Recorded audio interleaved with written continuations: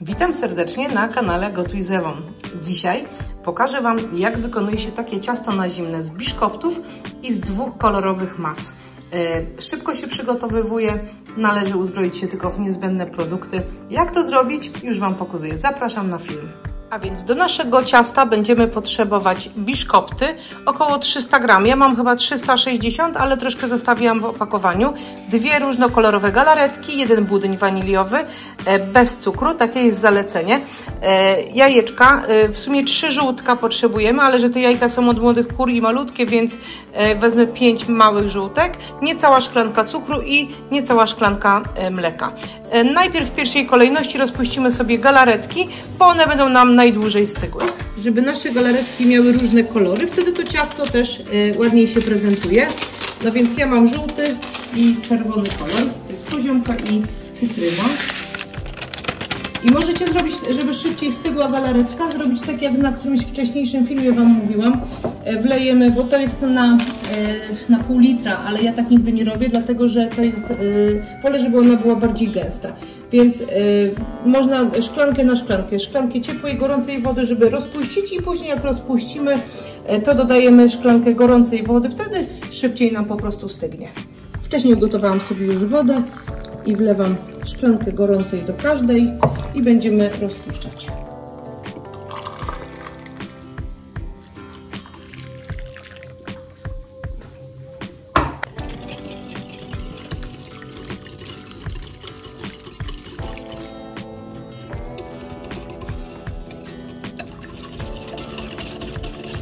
Rozpuścimy tą galaretkę w gorącej wodzie. Jak już będzie dobrze rozpuszczona, dodamy zimną szybciej się ostygnie.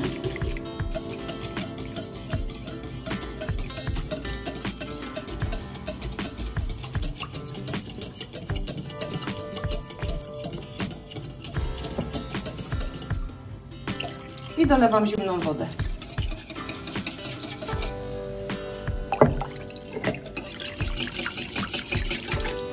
I odstawiamy do ostudzenia. I to jest pierwszy krok. E, teraz utrzemy żółtka z cukrem i suchym budyniem, więc musimy sobie oddzielić żółtka od naszych białek. Ja mam malutkie jajka, słuchajcie, od młodych kur, co ja się tu z nimi nabawię, ale za to są swojskie, to się liczy. E, w sezonie letnim zwracajcie szczególną uwagę na wsiowe jajka, żeby je sobie przeparzyć. Jak widzicie, u mnie białko już jest lekko ścięte, dlatego że ja po dostawie wkładam je wszystkie w dużą miskę i zalewam wrzątkiem na około minutkę.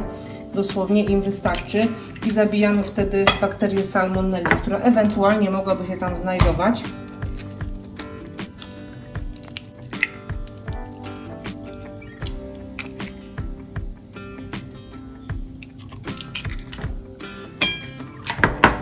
Do naszych żółtek teraz dodajemy niecałą szklankę cukru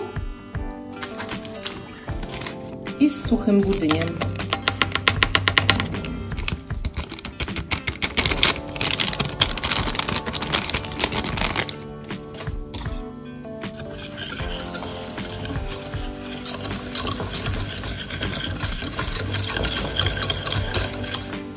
Idziemy i będziemy to na malutkim ogniu gotować około 3 minuty i na takiej średniej mocy palnika będziemy podgrzewać.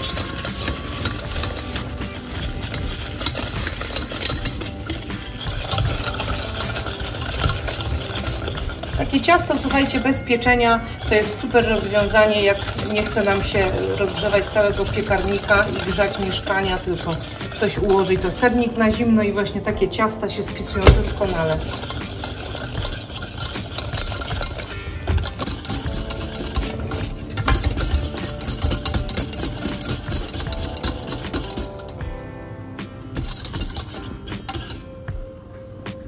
Moi drodzy, struktura tej masy jest taka. Po 3 minutach od podgrzewania musimy odstawić ją do przestudzenia. Przygotuję sobie papier do pieczenia. Każdy na ten papier, słuchajcie, z moich widzów ma inny sposób. E, mi najbardziej chyba sprawdza się tak właśnie, przygotowywać papier.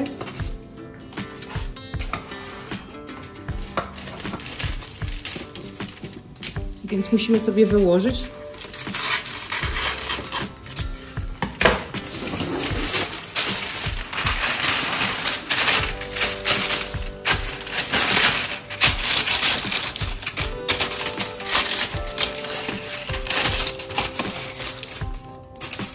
I nadmiar papieru ucinam.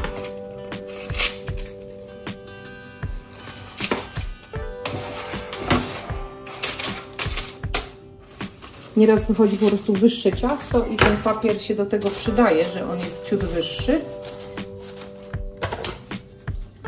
I o, gotowe.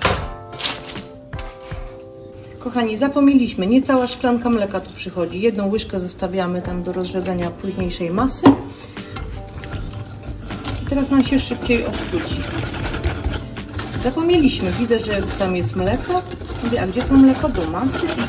Nie daliśmy. Dobra, to. No i nasza masa po 2-3 minutach zaczyna naturalnie gęstnieć, jak to budyń z mlekiem. Jak zgęstnieje, odstawiamy to do ostudzenia. Dobrze, moi drodzy, masa przestudzona. Teraz będziemy dodawać do niej masło. Masło musi być bardzo miękkie i będziemy je mikserem ucierać po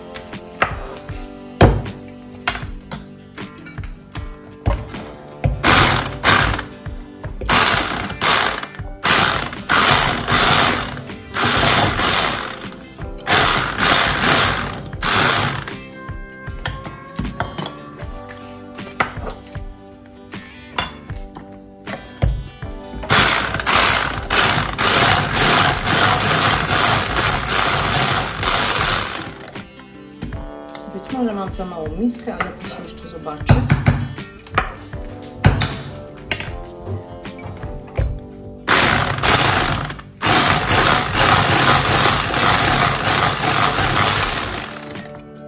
I tak do wykończenia produktu. Naszą utartą masę dzielimy na połowę. Do jednej dodajemy suche kakao, zwykłe, dwie łyżki, a druga będzie biała. Więc sobie tak wyrównuję i na oko tu przełożymy białą.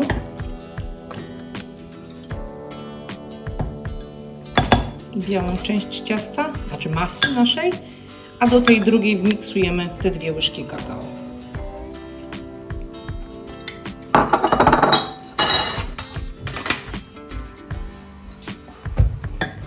Najpierw sobie wmiksuję ręcznie, bo wiem jaki to będzie kurz z tego.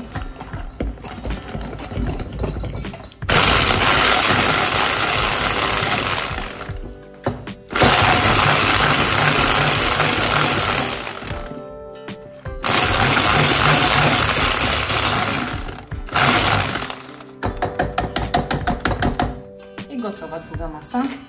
Moi drodzy, zmieniłam sobie y, moją roboczą blaszkę, dlatego formę mniejszą, bo obawiałam się, że będzie za nisko. No ale y, na tym spróbujemy. I teraz tak, galaretki tężejące, czyli takie, żeby nam się dobrze przyklejały do biszkoptów.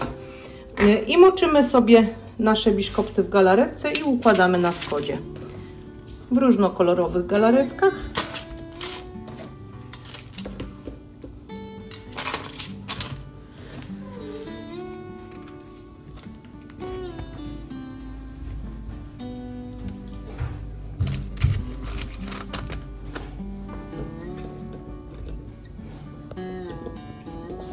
Słuchajcie, to jest ciasto, e, którego ja nie znałam. E, pierwszy raz upiekła je moja teściowa, jak jeszcze spotykałam się z moim mężem e, na mój przyjazd jakiś tam i mi bardzo to smakowało. I wiecie, tyle lat minęło i mówię, co by tu tym moim widzom na kanał nagrać coś innego niż można spotkać w internecie.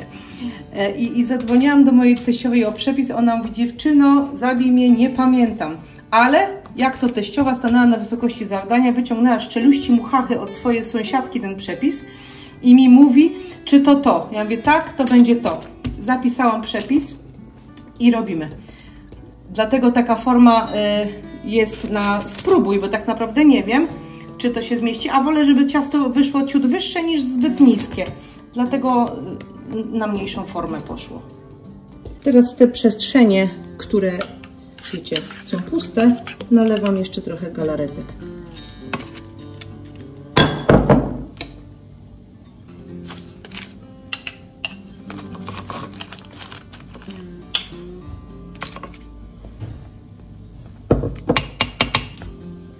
idzie biała masa.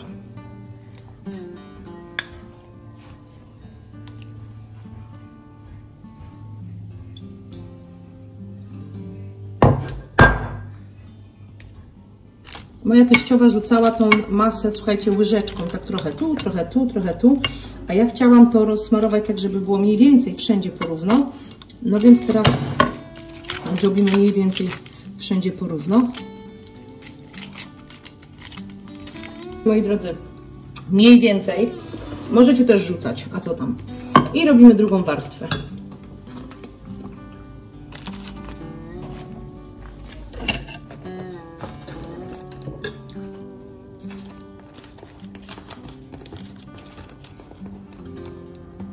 Puste przestrzenie.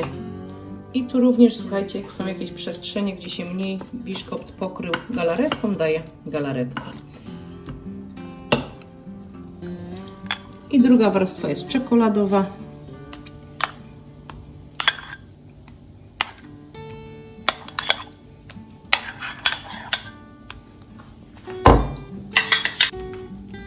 Rozciągamy ciemną masę tak samo jak tamtą jasną.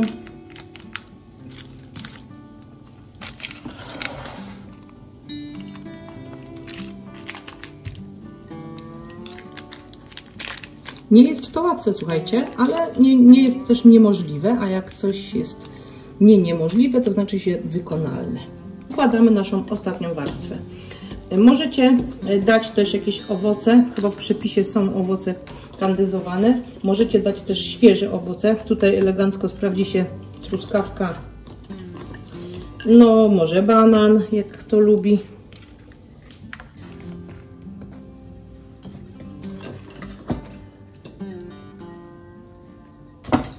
Bo tu już całe biszkopty nie wejdą, ale połówki wejdą.